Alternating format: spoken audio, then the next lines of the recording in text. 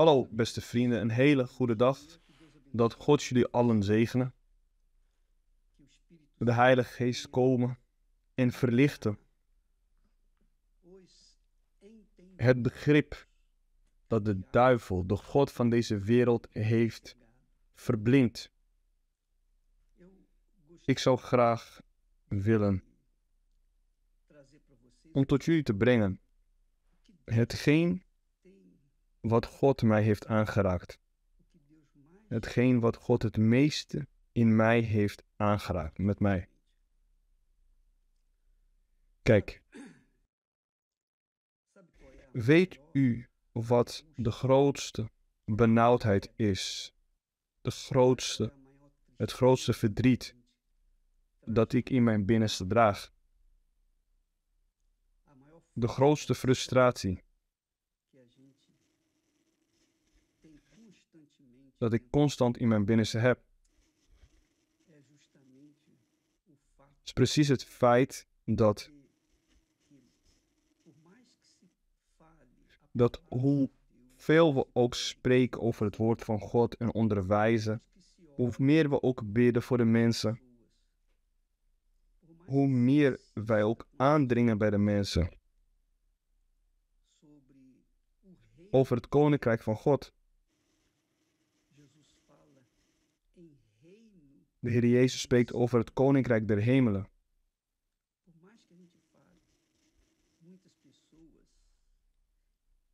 Hoeveel we ook spreken tot zoveel mensen. En let op, ik praat hier over veel mensen, waaronder ongelovigen, heidenen.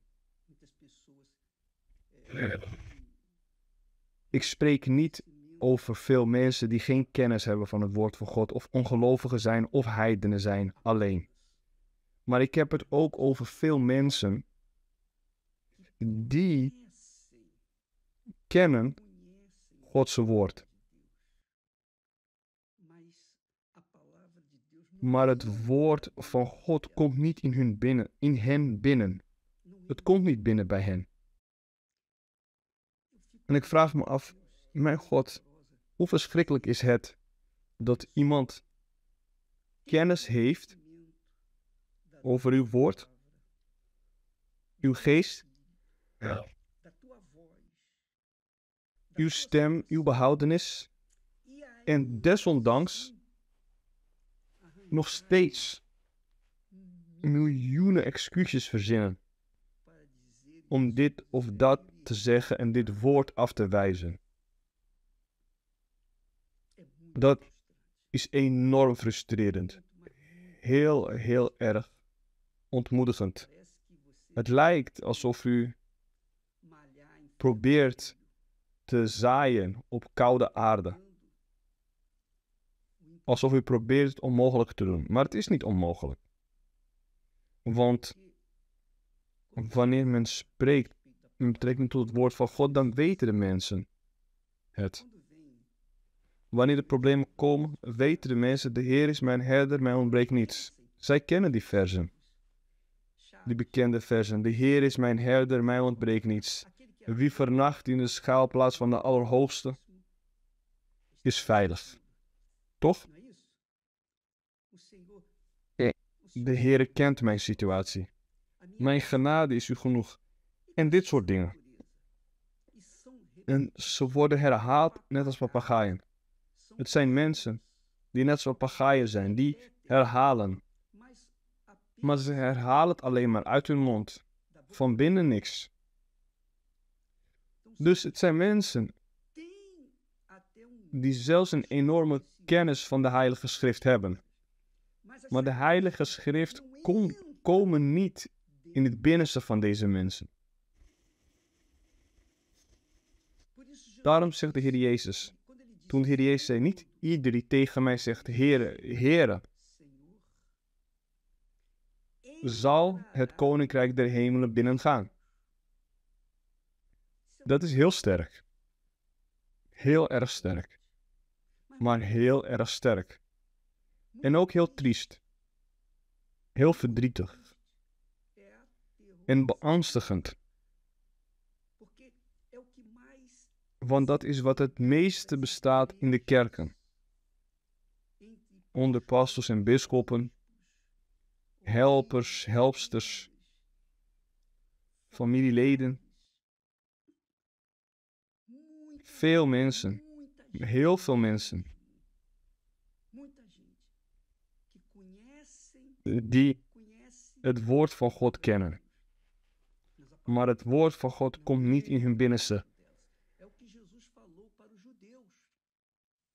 Dat is wat Jezus zei tegen de Joden.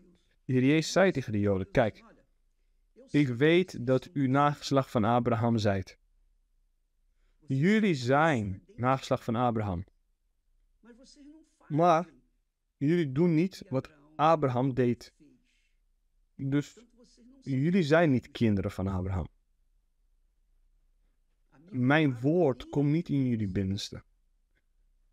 Mijn woord vindt geen ruimte in jullie. En dat is wat er is gebeurd op algemene wijze met iedereen. Iedereen. En dit is op te merken, want in de missionaire reizen die ik heb gedaan, heb ik opgemerkt het gezicht, de uitstraling van de mensen. Er zijn kerken die ik heb bezocht twee, drie, vier, vijf jaar geleden. En dezelfde mensen. Niet alle natuurlijk, maar een grote meerderheid. Dezelfde gezichtsuitdrukkingen, ten neergeslagen, verdrietig. Dezelfde mensen. En wij hebben die onders dat onderscheidingsvermogen om te weten dat het niet goed gaat. Want wanneer het goed gaat met iemand, dan is die persoon een bron. Wanneer het goed gaat met de persoon, met God. Niet per se met het leven of met materiële veroveringen. Dat is onzinnig. Alles wat men verovert in deze wereld blijft hierachter. Maar wat men verovert in de eeuwigheid, in de hemelen, dat blijft voor altijd.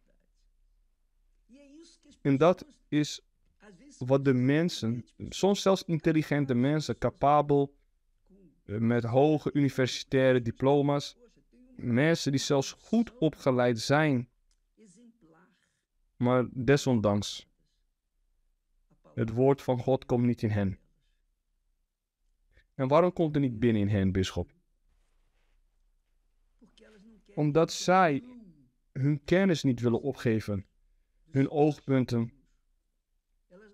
Zij willen niet zichzelf opofferen. Het is zoals iemand zei, bisschop. Wat moet ik doen om de Heilige Geest te ontvangen? Hetzelfde. Voor u om de Heilige Geest te ontvangen is, u moet zichzelf 100% te geven, uw gehele leven. Is niet, er is geen mogelijkheid dat u het koninkrijk der hemelen wilt, maar een klein koninkrijkje, klein beetje van uw leven geven. Nee, het is alles, uw gehele leven, alles voor alles. Ja of nee. Of het gaat of het gaat niet. Jezus is hier niet aan het spreken over een leventje voor een aantal jaren. 50, 60, 80, 90, 120 jaar. Nee. Hij spreekt hier over het eeuwig leven. Niet iedereen tegen mij zegt, Heere, Heere, zal binnengaan in het koninkrijk der hemelen. Ieder ieder.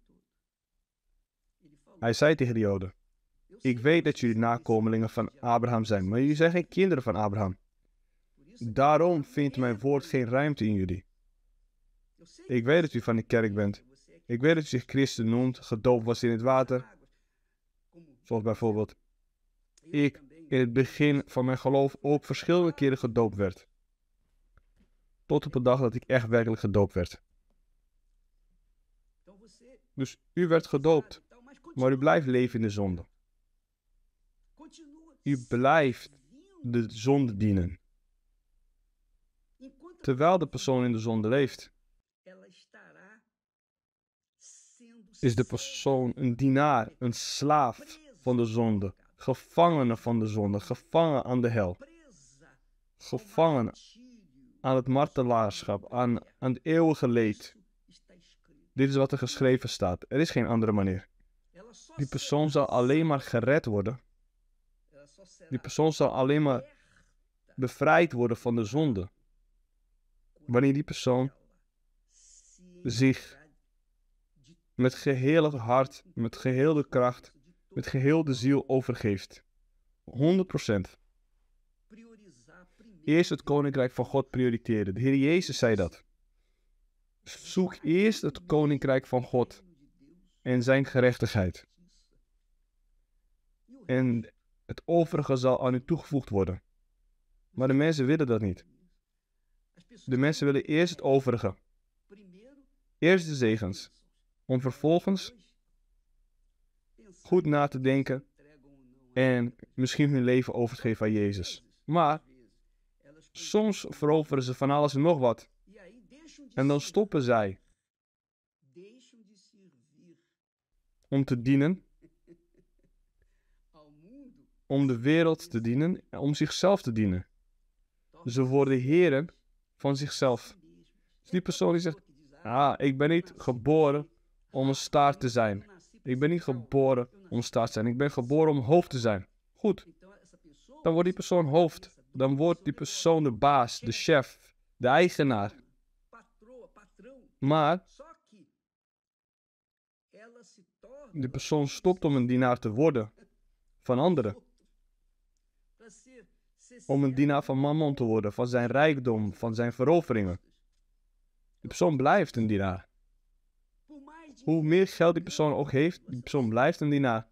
Hoe meer geld die persoon verovert, hoe meer dienaar die persoon zal zijn. Want meer bezorgdheid zal die persoon hebben ten opzichte van hetgeen dat hem domineert en dat is de rijkdom in dit geval. Beste vriend en vriendin, de mensen, ze denken niet na, ze begrijpen het niet. Hoe rijker iemand is, hoe meer afhankelijk die persoon wordt van zijn rijkdom. Hoe meer die persoon leeft bezorgd om zijn rijkdom. En dat is precies wat de Heer Jezus kon spreken. Hij zei: Kijk, niemand kan twee heren dienen. Of hij zal zich de ene behagen of de andere mishagen, en vice versa. Niemand kan God dienen en de mammon. De mammon dienen, dat weten we al. De mammon dienen houdt in om zichzelf te dienen, de rijkdom te dienen, de dingen van deze wereld te dienen, de wereld te dienen, zichzelf te dienen. Die persoon is zijn eigen heer. Maar wanneer die persoon zijn eigen heer wordt, dan dient die persoon vanzelfsprekend de mammon. En dat is de zonde. En wie de zonde dient, is een slaaf van de zonde. Slaaf of een slavin van de zonde. En dat is de reden waarom velen niet de Heilige Geest ontvangen. Waarom velen de Heilige Geest niet hebben ontvangen omdat zij niet hun Heer willen opgeven. En dat is de zonde. Zij willen de Heilige Geest. Maar ze willen ook met hun minnaressen blijven. Ze willen de Heilige Geest. Maar ze willen blijven in de hoererij. En hoererij wil zeggen seksuele relatie hebben buiten het huwelijk. Tussen man en vrouw. Ze willen het koninkrijk der hemelen. Maar ze willen ook het koninkrijk der aarde. Ze willen in de hemel komen. Maar ze willen niet hun egoïsme, oogpunten, hun wrok en woede opgeven. Dat is de waarheid. Ze willen niet de vergeving bieden. Ze willen niet iemand vergeven. De Heer Jezus zei niet ieder die tegen mij zegt, Heere, Heere, zal het koninkrijk der hemelen binnengaan. Hij is hier niet aan het spreken over de Joden alleen. En ook niet over de Farizeeërs, de hypocrieten, Nee, hij spreekt hier tot wie?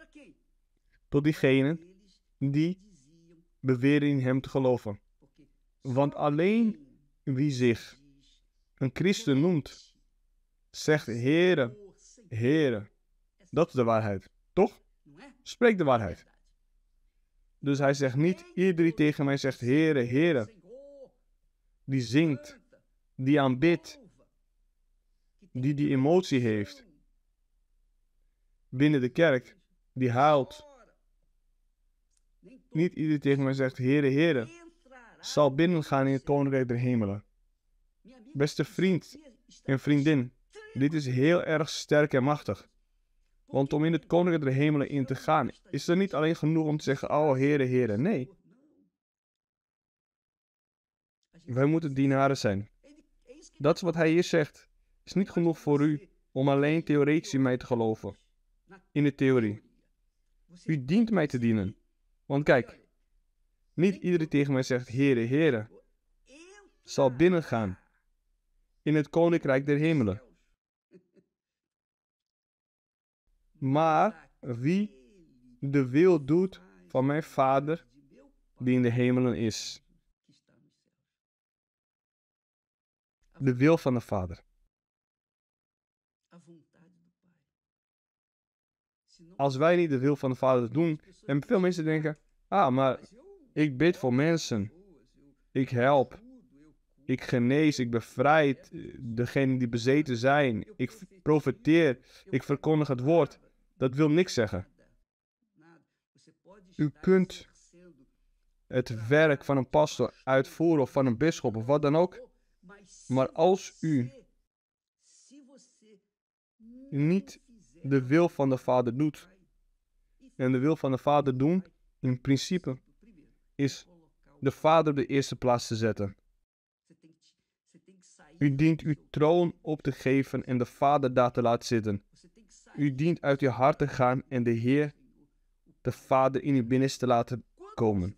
Wanneer u dat doet, dan zal de Vader u zijn geest geven, en dat is de Heilige Geest, om uw gedachten, uw hoofd te leiden. Uw ziel, uw gevoelens, om uw leven te leiden. En dan zult u uw naaste lief hebben zoals uzelf. Maar dit is alleen mogelijk door middel van het uitvoeren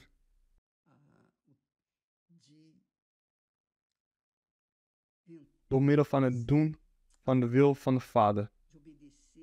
Door de stem van de Vader te gehoorzamen. Ik herinner mij. Laat me iets tegen jullie zeggen. Misschien helpt het. Misschien zal het helpen. Het kost niets om te vertellen in elk geval. Ik was ongeveer 17 jaar oud toen ik toegang had tot het woord van God. Want ik, ik had er niet eens kennis over voor die tijd dat het bestond. En van mijn 17e tot mijn 19e was ik aan het strijden tegen mezelf. Het was niet één of twee dagen, het waren twee jaren. Tenminste. Want op die leeftijd had ik natuurlijk dromen, persoonlijke projecten. Zoals alle jongeren hadden en hebben. En elke keer wanneer de pastor sprak, wie wil zijn leven overgeven aan de Heer Jezus? Wie wil Jezus accepteren als zijn Heer en Verlosser? Was ik daar met mijn hand omhoog geven? Ik wil. Dus binnen de kerk wilde ik het. Maar buiten de kerk? Nee. Buiten de kerk wilde ik mijn leven leiden. Wilde ik mijn dromen realiseren. In de kerk zei ik ja, zei ik amen. In de kerk zei ik Heere, Heere. Maar daarbuiten liet ik de Heer terzijde en ging ik door met mijn eigen wil. Voor mijn begeertes, voor mijn dromen, voor mijn projecten die persoonlijk waren. Dus ik bleef in deze strijd tussen ik als Heer van mijn leven en de Heer Jezus als de Heer te hebben. Als de ware Heer. En toen de problemen kwamen, toen de pijnen kwamen, toen ik geleid werd tot de bodem van de put, toen zag ik in dat er geen andere uitweg was. En ik moest mijn eigen dromen opgeven. Ik moest mijn persoonlijke projecten vergeten. Ik moest alles vergeten. in de Heer Jezus te zetten als mijn eerste. Het was niet van de een op de andere dag. Maar toen ik het deed, deed ik het gebaseerd op het woord dat de Heer Jezus zei. Wat baat het de mens om de gehele wereld te winnen en de eigen ziel te verliezen? Wat baat het? Wat baat het dat u in de kerk bent en zegt, Heere, Heere, en naar de hel te gaan? Wat baat dat? Wat baat het, beste vriend en vriendin? Dat u goederen en bezit hebt, rijkdommen, maar uw ziel loopt risico om naar de eeuwige dood te gaan. Dood is niet slapen. De ziel sterft niet. De ziel leeft voor eeuwig. Met God of met de duivel, de, de ziel zal voor eeuwig leven. En wie beslist of het met God is of niet? U en ieder van ons. Ik beslis, ja, Heer. Ik zei ja tegen de Heer. Op een dag zei ik tegen hem, ja, Heer. Heb genade met mij. En God had genade. Vanaf dat moment, op dat moment, toen ik hem kende, toen ik hem erkende als mijn ware Heer, want hij haalde mij uit de bodem van de put. Hij deed mij de hel zien die op mij stond te wachten. Vanaf die dag zei ik, Heer, ik wil niet meer leven. Nu is geen kwestie meer van dromen realiseren. Ik wilde letterlijk sterven. Ik wilde niet meer leven. Op 19-jarige leeftijd. Ik had nog een heel leven voor me.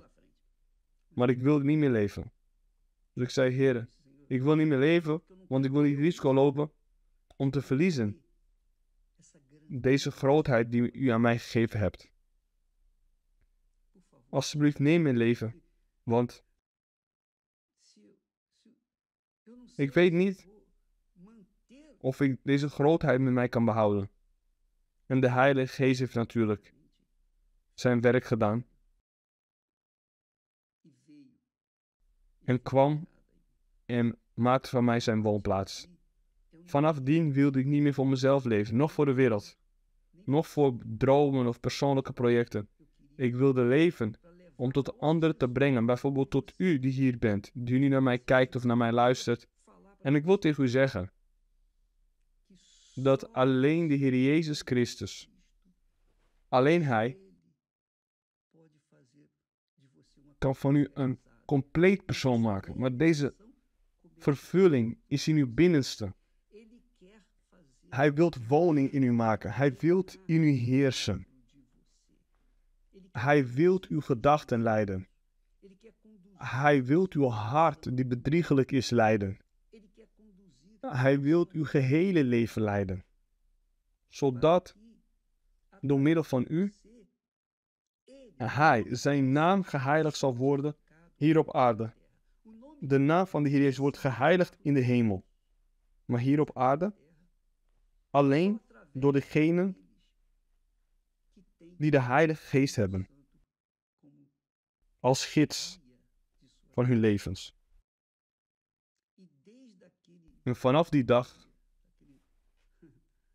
vanaf die tijd, vanaf mijn negentiende, werd er een passie in mij geboren voor de zielen.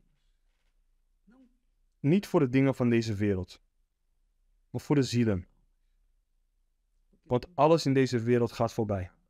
Stopt, eindigt. Ik herinner mij toen ik 19 jaar oud was, was mijn kracht anders. Nu ben ik 78 jaar oud. 78.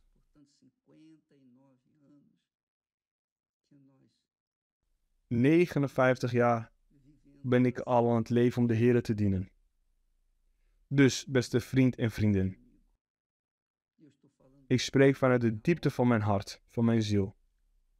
Het baat niet voor u om te zeggen, Heere, Heere. Het baat niet dat u een trouw gever bent, een offerandegever bent. Nee. Denk niet dat de offerandes onze behoudenis zullen garanderen. Wat de behoudenis garandeert, is onze overgave onze onderwerping, onze toewijding, zodat de Heilige Geest komt en woning in ons maakt. Dus er is geen smoesje, ah, mijn man doet dit, mijn vrouw doet dat, mijn kinderen dit. Er is geen excuus. De behoudenis is persoonlijk, individueel. En ieder moet voor zichzelf beslissen. Ik kan niet beslissen voor mijn kinderen en mijn kinderen kunnen niet beslissen voor mij. Ik niet voor Esther en Esther niet voor mij. En ieder moet voor zichzelf beslissen. Het is uw ziel, begrijpt u wat ik aan het zeggen ben? De Heer Jezus zei niet, en iedereen tegen mij zegt, Heere, Heere, zal ingaan in het Koninkrijk der Hemelen. Maar wie doet de wil van mijn Vader? Eerste wil van de Vader is dat Hij de eerste is in uw leven. Als Hij niet de eerste is, zal Hij niet de tweede zijn. Hij zal dan geen deel uitmaken van uw leven. En dan zegt de Heer Jezus, velen zullen tegen mij te dien dagen zeggen, Heere, Heere, in uw naam hebben wij geprofeteerd. Dus het werk gedaan, gaven, getoond. Eh, in uw naam hebben wij dus het woord gepredikt. In uw naam hebben wij demonen uitgedreven. Hebben wij vele krachten gedaan, oftewel gaven. Sanas deed wonderen, deed bevrijdingen. Maar dan zal ik u openlijk zeggen: Ik heb u nooit gekend. Ik heb u nooit gekend. Jullie gebruikten mijn naam, jullie gebruikten mijn woord, jullie gebruikten de autoriteit van mijn naam, de macht van mijn woord. Maar jullie hebben mij nooit gediend. Nooit. Mijn vriend en vriendin, wij hebben de gaven van de Heilige Geest en we hebben de vrucht van de Heilige Geest. De gaven zijn negen. De vruchten, de vrucht, zijn na negen. Maar de vrucht wordt niet vruchten gezegd. Het is vrucht, enkelvoud. Eén karakter. Uw verstand wordt zoals het verstand van God. En wanneer men het verstand van de Heer Jezus heeft, dan wordt, dan weet u wat u moet doen. Doet u wat u moet doen. U heeft de moed om te doen wat gedaan moet worden. Omdat u het verstand heeft. De begeleiding van de Heilige Geest. En als u heeft, dan heeft u niet, dan moet u zoeken. En als u niet uw leven overgeeft, 100%, uw zonden, uw fouten, uw ongerechtigheden, uw oogpunten, alles, alles.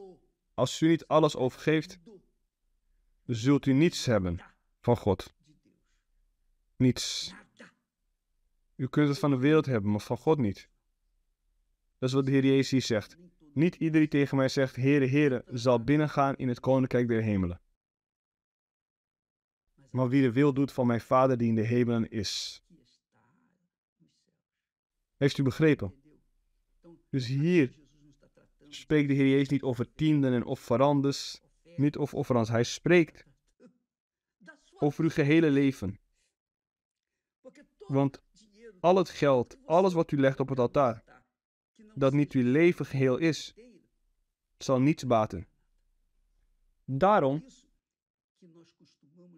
zeg ik normaal gesproken tegen de mensen om naar het altaar te komen en hun hele leven daar te plaatsen. Alles wat ze zijn, alles wat ze willen worden, alles wat ze hebben, alles wat ze willen hebben. De Heer Jezus zei, wie vader of moeder, vrouw, kinderen, man achterlaat voor mij, omwille van mij, zal honderdvoudig meer ontvangen hetgeen wat hij op het altaar heeft gegeven. Meer huizen, honderd keer meer familie, honderd keer meer vader, moeder, kinderen. Niet vrouwen. Niet vrouwen.